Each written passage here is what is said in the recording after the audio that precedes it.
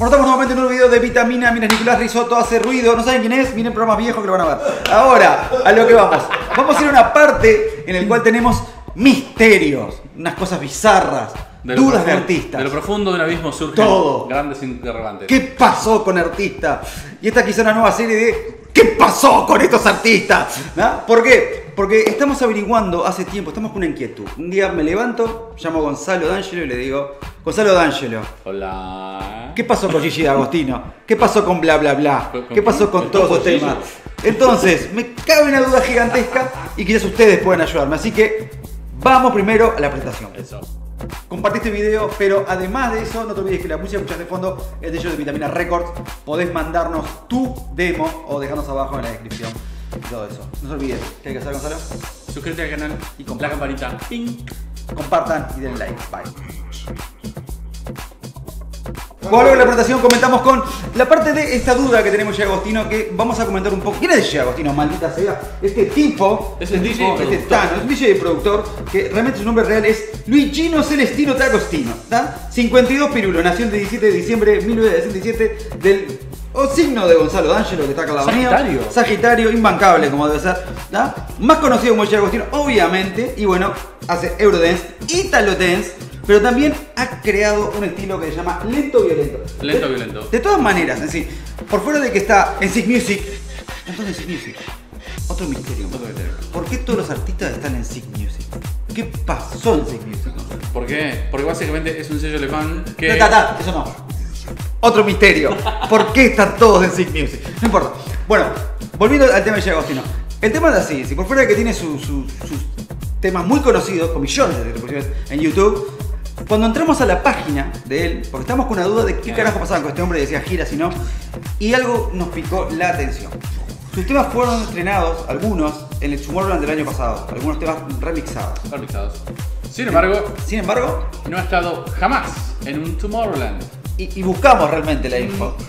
Si ustedes saben, porque a veces nosotros pensamos que un año no estaba Hernán Cataño y estaba. Estaba. Porque o- ese fue otro O misterio. sea, encontramos a Hernán Cartaño en una, en, una, en una Tomorrowland. Y dice, ¿no está Gigi Agostino? Es raro. Incluso teniendo una fiesta que es I Love the 90s en medio de eh, el Tomorrowland. ¿tá? No, es el, Poco. no es el, el escenario más grande, pero aparte de todo eso, es un tipo el cual ha generado, quizá no muchos, pero a ver, muchos más que muchos DJs, éxitos, éxitos que han estado durante años, maldita sea.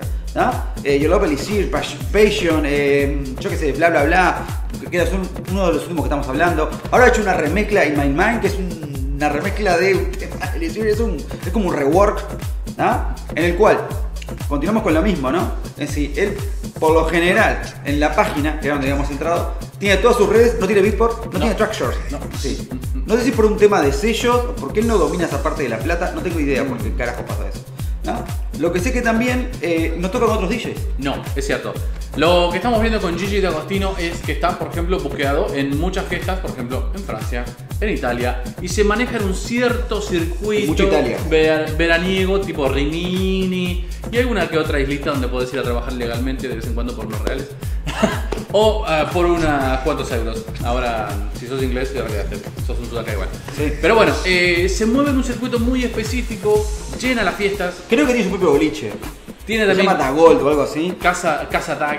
Casa Tag. Casa. Tag. Entonces, pero el misterio es que él no sale de ese circuito y no parece tener ningún interés, tampoco protesta.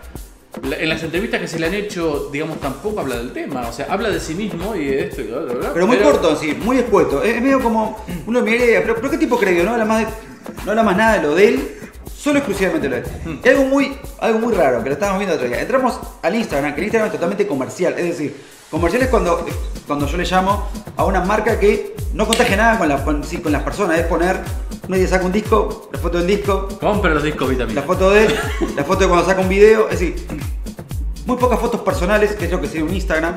Y ahí viene el chiste, tiene 90 y algo de seguidores que, sí, que él sigue, tiene como mil y algo o muchas más de gente que lo sigue a él, pero tiene muy pocos que sigue. Pero sí estrellas.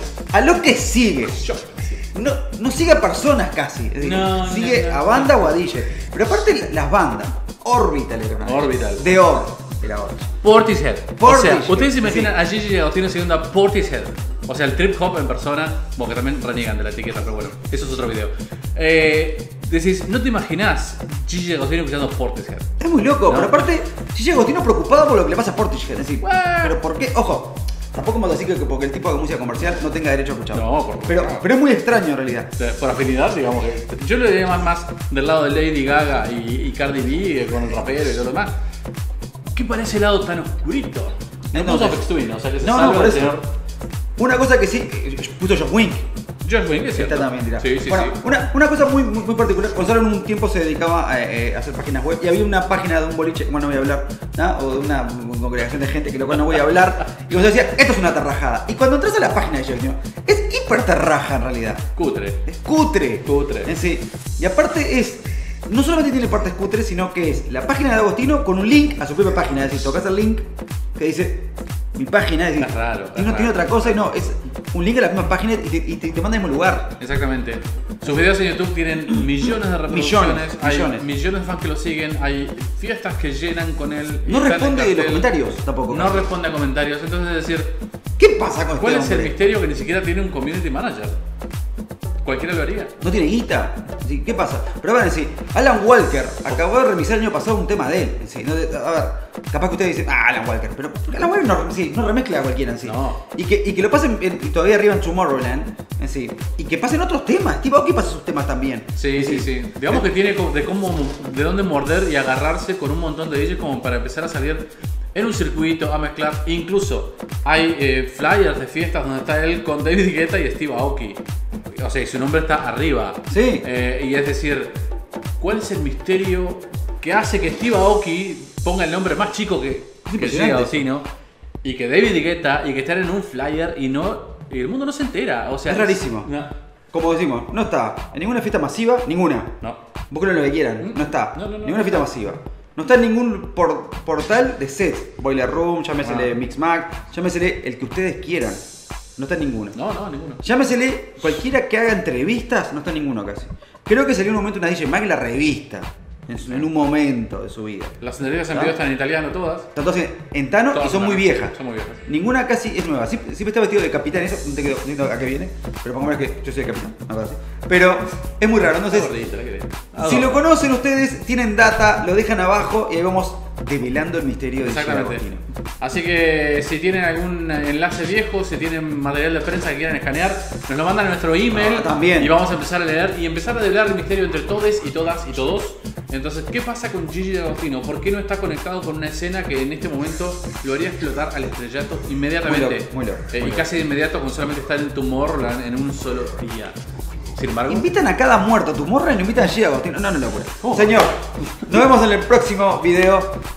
Puede ser de misterio o de otra cosa. Que pasen bien, ya saben lo que tienen que hacer. Suscriben y hagan otra vez. hasta el próximo video de los 7 misterios.